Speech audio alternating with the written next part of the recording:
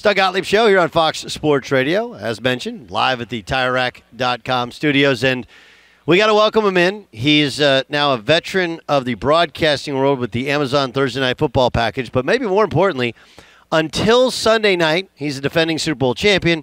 He's Andrew Whitworth. He joins us here live at Radio Row in uh, Phoenix, Arizona. How you doing?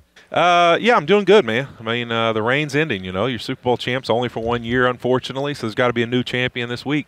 What happened to the Rams this year?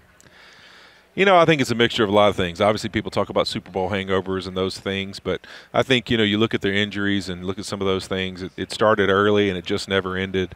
And I think they never found that moment to kind of get their feet in the ground and say, all right, where do we go from here? How do we improve? Uh, the injuries kind of put them in a, in, a, in a bad place, and then they never found it. I mean, you look at Cincinnati, they started rough, you know, and then kind of found themselves and got going. I think, you know, the Rams just really had too many injuries before they ever found that moment to get some momentum. It's really amazing you guys have that, that many injuries last year, right? I mean, heck, you lose your starting running back before the season ever gets going. I don't know how he came back from Achilles tendon tear that, that quickly. That was crazy. But, I mean, the, the last drive, it was one guy. Yep. One, one, one guy. You ever been a part of something like that? I haven't. I still go back to the the ending of that game and think of who was on the field and how many people we'd lost in that moment. I can remember having a feeling there in like the third quarter where we're like, man, some of us gets, yeah, like it's like I don't know if we're gonna be able to win the game just because we don't have anybody to play hardly, and uh, we were down to the last people that are dressed out at their positions. So uh, to think of being able to pull it off and, and the drive and everything else still blows my mind. Honestly, when I watch games, man, we're only going to try to find Cooper Kupp. This is what we're going to try to do, and we were still able to do it and find a way to win the game. How does a dude like that get open when everybody knows he's getting the ball? I think when you really look at it, it's their relationship, Stafford and Kupp, and the the time they'd put in.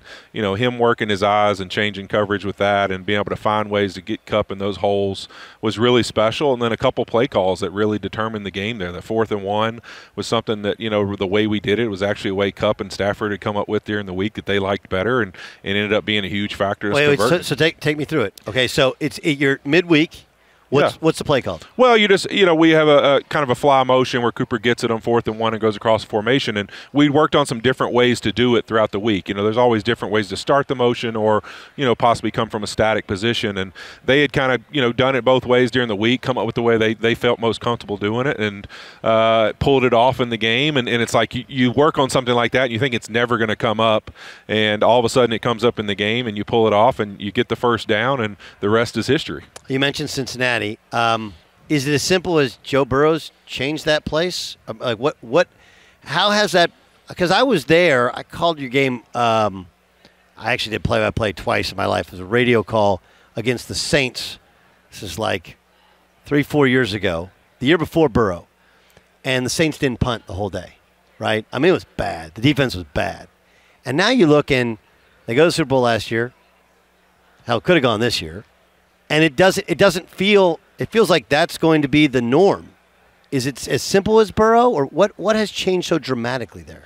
I think Burrow's obviously the uh, you know probably the biggest part, but there's some other pieces there that I think when you watched and you said, "Hey, young Joe Burrow looks like he's going to be a legit quarterback in this league." His, his rookie year, even before the injury. But then you look at some of the pieces they add with the Trey Hendrickson, you know, um, and some of those guys up front, and then uh, you know obviously they've invested money this offseason. You can tell that there's an emphasis there of like we're going to add winners, which is really something they'd never done. When I was there in free agency, I mean, we we maybe a handful of guys in my 12 years we ever signed signed like truly to start in free agency. That wasn't something they did. Right. But you can almost see not only Joe Burrow's play, but they've inspired him and given the front office confidence to say, we believe in this guy so much, we'll get out of our comfort zone a little bit. And every year, we're going to look to acquire talent to help him be as successful as he's possible of being. So I think it's adding pieces around him, a belief in the building that they all believe in him and think that something really special is there. And he is really special, but they're also doing their part. And I think that sometimes that was the criticism when we had our run from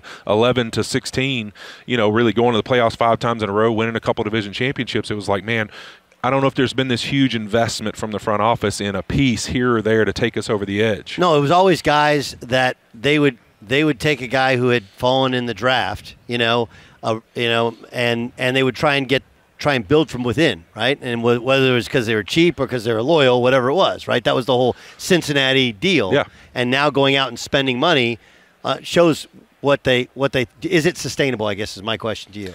Yeah, I think it's going to get tougher and tougher because that eventually they're going to run to a point where they're just not that those that team and that organization. They're not going to keep writing checks to people to come in the building. They're going to have to take care of their own. And you know, you look at some of the special talent they've also drafted.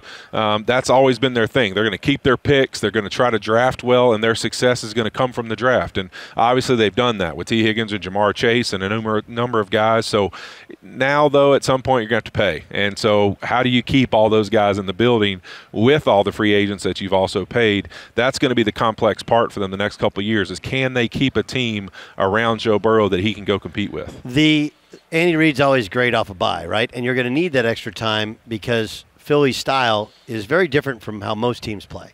Right? Obviously, Baltimore's certain amount of that, you know, where it's really a, a, a, almost like a college scheme. Is that is that is that fair in terms of how much they run and how much they play 11 on 11 football? How hard is that to prepare for? Obviously, you've been on the offense side, but how hard is that to prepare for when you haven't seen this level of dynamic overall athletes for Philadelphia for Kansas City? Yeah, I think it's going to be really different for them because it's a style of football, like you mentioned, uh, similar to Baltimore in the sense of you're always going to have to account for the quarterback. And that is the most challenging part of defense in the NFL now. With all the rules, with everything else, some of these teams that can play 11 on 11 football where the quarterback's involved in the running game, you know, now the RPOs and all these things that come off of it, uh, it's really challenging to figure out how you're going to fit all these things. And then on top of it, what makes them so special they also have an offensive line that's unbelievable and Yeah. played at a really high level. And then they also have skill guys who you're scared to death of, and AJ Brown and DeVonta Smith. So, you know, it's like, all right, on the edges, you know, add a Dallas Goedert. It's like, where on defense do you want to say, okay, here's the guy we're going to let beat us? They're really complex that way, and it's that man. I don't know if there's anybody that we want to say, all right, we trust everybody to just guard these guys, or we just want to take away the RPO game because they can hurt you really bad in the passing game as well. And then Kansas City's kind of like you guys last year, where of, Kelce's like the last man standing of what they got, and and I mean they've they've found ways to do it, but uh, similar to their offensive line, Philadelphia's defensive line is outstanding. What are your thoughts on their offense, their style versus what Philadelphia does? Well, I think with Mahomes, you always have the potential of Mahomes type game. I mean, he's going to do special things, but give credit to Andy Reid. I mean, he always seems to have a plan for these type of teams. Like, hey, all right, this team's going to be a great pass rush team. They're going to get after Patrick Mahomes. Everybody's going to talk about it all week. Screen They're going to start the game, game, off. Mahomes game. ain't going to have the ball for a split second to start the game. I mean, literally everything's going to be ball out of his hand. You know, the wide receiver motions, stuff out of the backfield to the backs. They're going to do it all to just get the ball out really fast, get you running sideline to sideline, and really take that mindset away from you a little bit and kind of feel out the game before they start some of that stuff. So Andy Reid's a genius with that. I mean, his screen game for years has always been talked about. The linemen, the receivers, everybody involved. It's it's master class of executing those, and so you know he's going to have a lot of that dialed up. He's got two weeks to get it all in. Uh, I think that's going to be their game plan is to try to get the ball out quick, do some of these screens, and then mix in their shots when they have a chance. All right, uh, you're working with Fisher Price this week. Um, the, the the audio last year of you telling your kids after the Super Bowl was amazing. That you're done playing football, right? It was incredible. Um, did you do the Fisher Price partnership just because I want to get free stuff for my kids? Uh, exactly. Anytime you got an opportunity to get something for the kids, you're in. But yeah, I mean, it's the uh, Super Bowl 57 Little People Collection, uh, Champion Collection. So you got the Chiefs and the Eagles. Uh, you know, it's a collector's item, so it's something that uh, everyone can go to, uh, you know, the website and uh, MattelCreations.com, and you can purchase whichever team you think's winning the Super Bowl. They will only fulfill the order of the team that wins, though. So you, you get your money back if your team loses. That's your consolation prize, I guess.